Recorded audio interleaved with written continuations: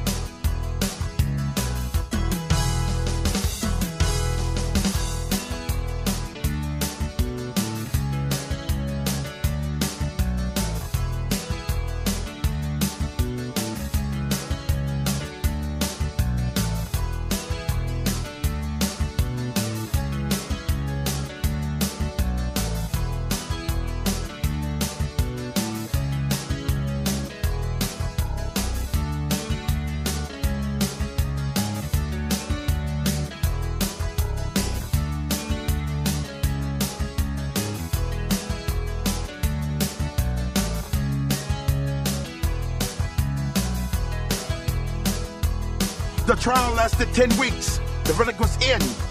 A 12 jury panel found Ted Mack guilty of first degree murder in the 22 caliber pistol killing of Rodney Jenkins. A month later, he was sentenced to 65 years in prison.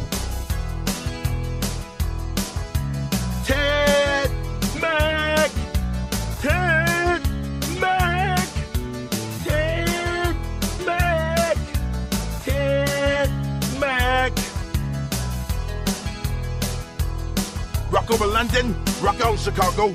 Arby's, Brit is good.